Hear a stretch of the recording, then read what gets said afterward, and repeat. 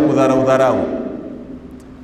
Katika mji mmoja, siku moja, kuna watu walitoka, watu walitoka katoka wakaenda kwa ajili ya kumwomba Allah subhanahu wa ta'ala, mvua ifanye nini? Inyeshe. Kulikuwa kuna ukame, mvua yenyeshi, mimea yote. Wakatoka mashehe wote wa kimji, wakatoka maimamu, wakatoka wakaenda kumlilia Mwenyezi Mungu, tunaomba mvua, mvua, mvua, mvua, mvua. Mvua haijafanya nini? Yenyeshi. Karudi majumbani usiku baada ya salati al-isha, karudi Malik ibn Dinari anaingia pale, kaingia katika msikiti. Mmoja pale, akaingia akaswali, akajibanza pembezoni mwa, msikiti. Baada ya kujibanza pembezoni mwa msikiti, akamwona kuna mwamba mmoja anaingia, alikuwa na, alikuwa na kitambi kidogo, alikuwa na nini, alikuwa na kitambi, lakini alikuwa kavaa nguo zimechoka choka, nguo zimefanya nini, zimechoka choka. Akamtazama yule mwamba akawa amekaa pale ameswali swala yake. Baada hapo akaswali raka ngapi? Mbili. Sasa raka mbili. Baada ya kuswali raka mbili zile, akakaa akaangalia, hajamuona mtu, kanyanyua mikono, akamwambia Mwenyezi Mungu maneno mangapi? Maneno mangapi? Matatu tu. Allahumma ajdabatil bilad, Mwenyezi Mungu, hii imekuwa mikana, miji imekuwa.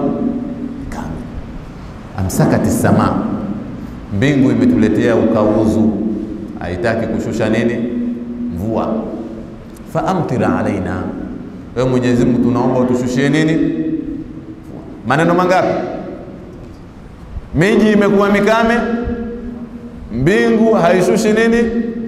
Mvua, tushushie nini? Malik ibn Dinari anatuambia kwamba huyu mwamba hajamaliza maneno yake, hajamaliza nini mvua ikaanza kufanya nini? Ikaanza kunyesha. Alipomaliza akaangalia kulia na kushoto, hajamuona mtu, akafanyaje? Akatoka kutoka Malik bin Dinari, akawa anamvizia, anamfuata taratibu taratibu, kujua huyu mwamba anakaa Kamfuatilia akaona kuna kijumba kimoja cha udongo kimechokachoka, ndio yule mwamba anafanya nini? Akasema leo shakuwa usiku, mimi Mungu akipenda kesho nitakuja kutaka kumfuatilia huyo mtu ni nani. Alipofika asubuhi, akatoka Malik ibn Dinari akaenda kuuliza, jamani, eh, kuna mtu nimemwona anaingia katika nyumba hii, umu anakaa akina nani katika nyumba hii imechoka choka? Akaambiwa umu anakaa watumwa, umo umu anakaa akina nani? Watumwa. Akauliza, mwenye hao watumwa ni nani? Mimi kuna mtumwa nataka kumnunua. Akaambiwa, mwenye watumwa, umeona nyumba ile pale nzuri nzuri ile, mule ndo anakaa yule mwenye hao watumwa. Akapelekwa mpaka pale, kabishwa hodi, kaulizwa yule mwenye watumwa, akatoka. Bwana, wewe ndo mwenye watumwa? Eh, mimi nataka ninunue mtumwa. Kaambia, unataka mtumwa? Eh, njoo nikupeleke. Katoka naye akamtafutia, kuna nyumba moja nzuri nzuri kiasi fulani, tofauti na ile ya mwanzo uliochoka choka. Akaenda pale, akawaambia waliomo mule ndani, ah, jamani, tokeni, tokeni, tokeni.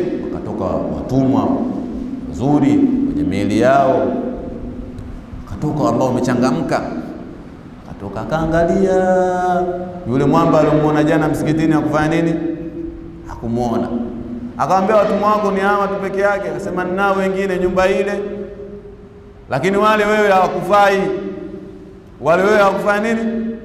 Akasema twende bwana. Sema bwana, tafadhali bwana, wale wewe hawakufai, wale unavyowaona wale wavivu kweli kweli, bora hawa ambao nimefanya nini nimekutolea. Akasema hapana, twende bwana.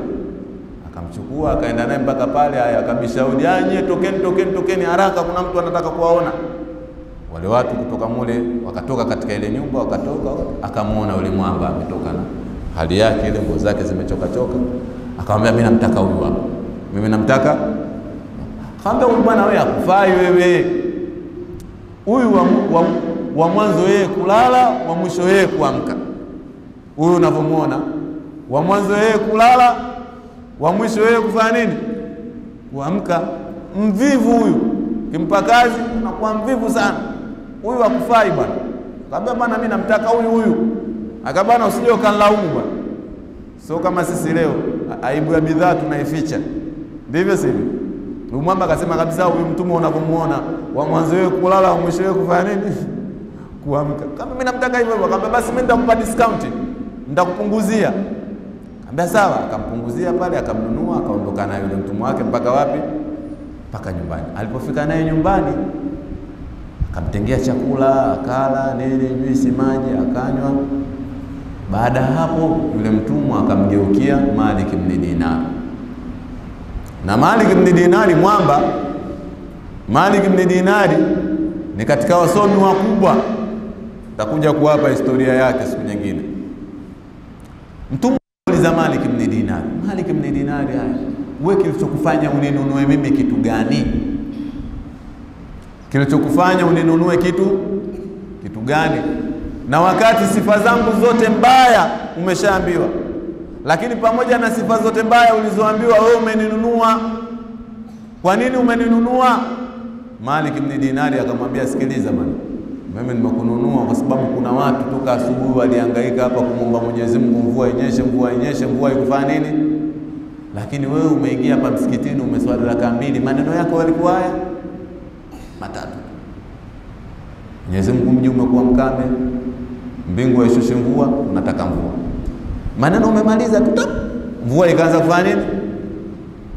Angalia wacha Mungu Akamwambia Malik ibn Dinari, laallahu ghairi, pengine huyo uliyemwona msikitini anafanya hayo mambo, pengine sio mimi, pengine sio nani, sio mimi, lakini tungekuwa mimi na wewe pale pale, ndo mimi. Eh, wacha Mungu hawajionyeshi. Leo tunaona hata katika mitandao ya kijamii, dua yangu mimi mujarab mia filmia Wacha Mungu sio hivyo.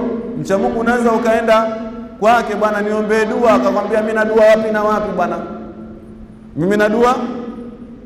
Lakini ndo mwenye dua akimwambia Mwenyezi Mungu jambo lake linafanya nini? E bwana, ni wewe, mimi nimekuona wewe msikitini na nimekununua maksudi. Akamwambia bwana, pengine bwana umenifananisha, so mimi. Malik akamwambia ni wewe. Akamwambia basi, nakuomba kitu kimoja, naomba uniruhusu ni swali raka ngapi? Basi hamna shida, wewe rakaa raka mbili fanya nini? Na yule mwamba alikuwa na udhu wake, alikuwa na so sisi. Mtu akishatoka msikitini kidogo udhu ukamtoka, ndo atawadhi mpaka swala inayokuja. Huyo mwamba alikuwa na udhu wake. Kibla wapi? Kibla akaelekea kibla, akaswali raka ngapi? Ya kwanza, ya pili, akakaa kitako, kaa kitako, akanyanyua mikono kwambia Allahumma, Allah subhanahu wa ta'ala, ya sahiba siri, wewe ndiyo mwenye siri. Unajua kwamba mimi nikikwambia jambo langu unalikubali hapo hapo, halina pingamizi. Inna sirra qad dhahar, ile siri ambayo nilikuwa naijua mimi na wewe, watu wanafanya nini? Wanaijua. Fala utiku lhayata ba'da mashtahar, sioni faida ya kuendelea kuishi baada ya kuwa ile siri kati yangu mimi na wewe ishafanya nini shafichuka. Malik Dinari anasema fafadhat ruhuhu ila Allah fil hal, pale pale Mwenyezi Mungu akaichukua roho ya yule mwamba pale pale pale pale. Mwenyezi Mungu, mimi sioni maana ya maisha baada ya kuwa siri kati yangu mimi na wewe imeshafanya nini, imeshafichuka pale pale. Ndio maana wasomi wakasema inna lillahi ibadan idha aradu